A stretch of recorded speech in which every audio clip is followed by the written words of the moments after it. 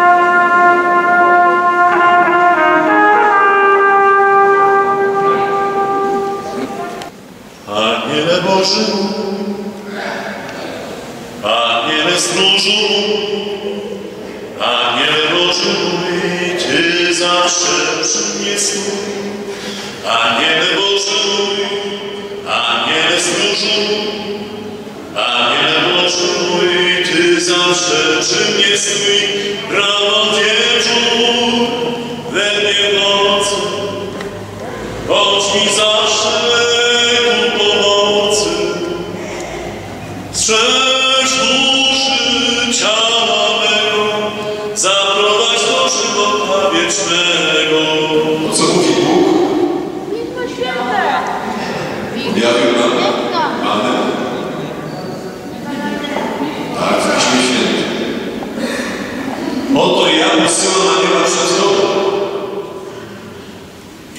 aby strzegł Cię na wszystkich tych drogach. I doprowadził